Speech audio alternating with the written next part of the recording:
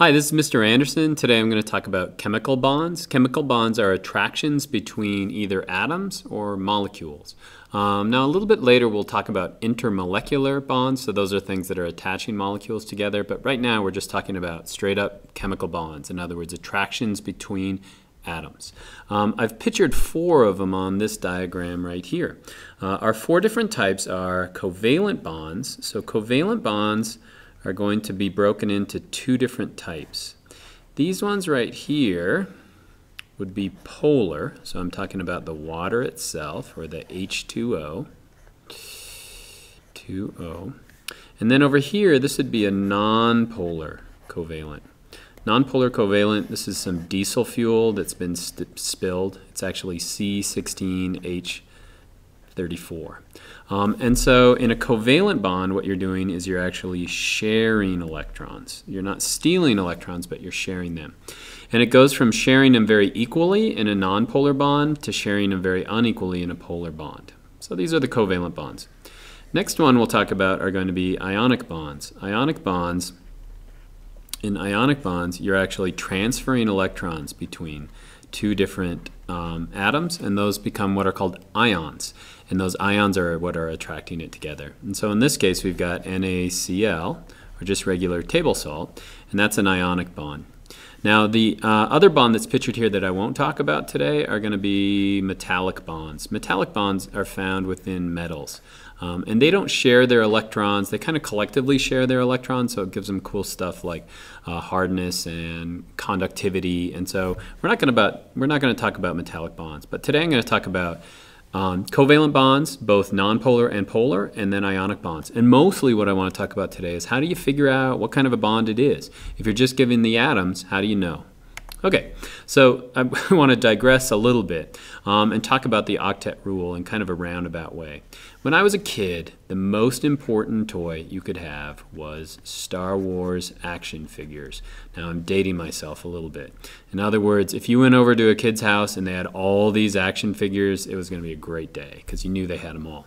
And so, what were the big ones? At least on the good side, the big ones, you had to have a Chewbacca, you had to have a Han Solo, Princess Leia, you had to have Luke Skywalker, you got to have your C3PO, Obi Wan Kenobi, maybe you had the Yoda, and then you had the uh, R2D2. Now, if you had all eight of those, you had a complete set. Uh, I remember flushing my R2D2 down the toilet just inadvertently, and it was like one of the most sad days of my whole life.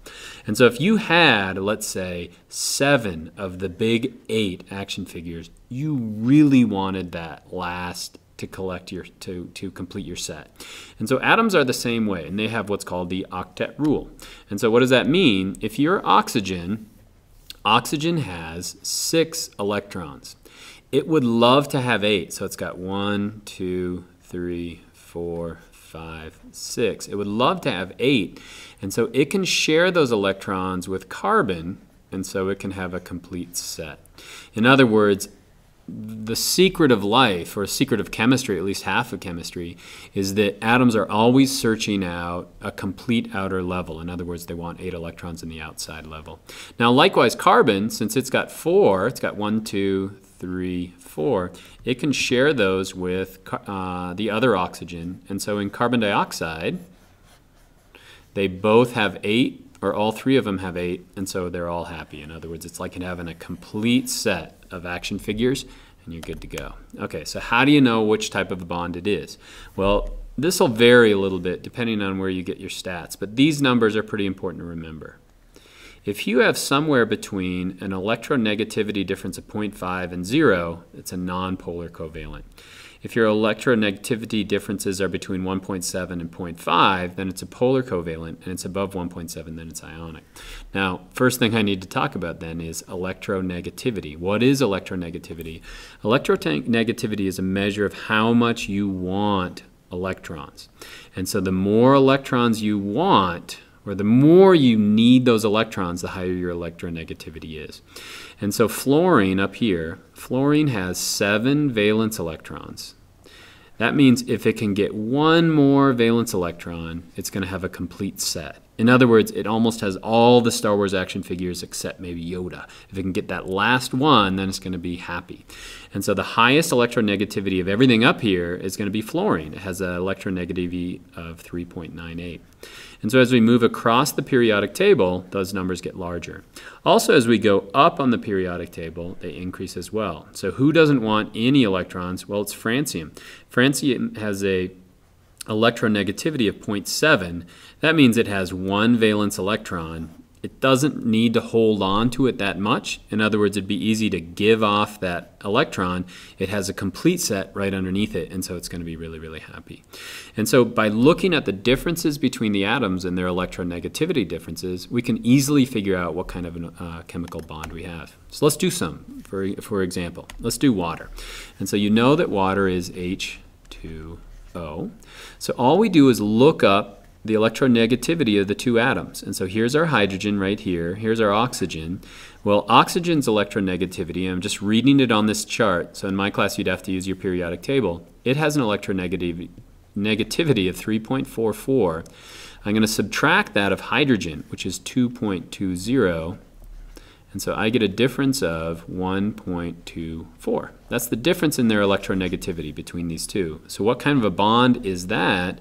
Well, look at my chart.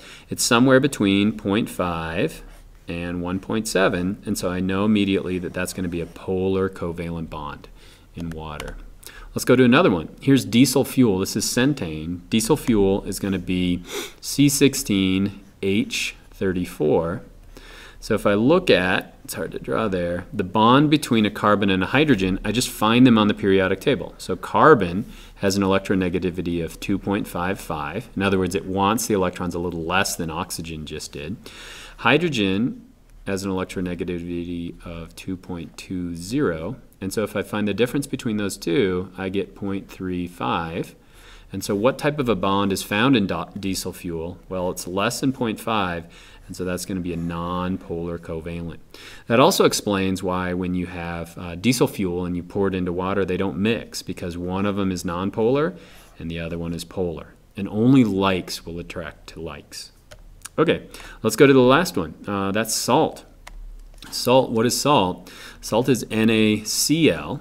If we look up our electronegativities, salt, we're going to find sodium, oops, all the way over here, so it's 0.93. I'm going to then find chlorine. Chlorine is 3.16.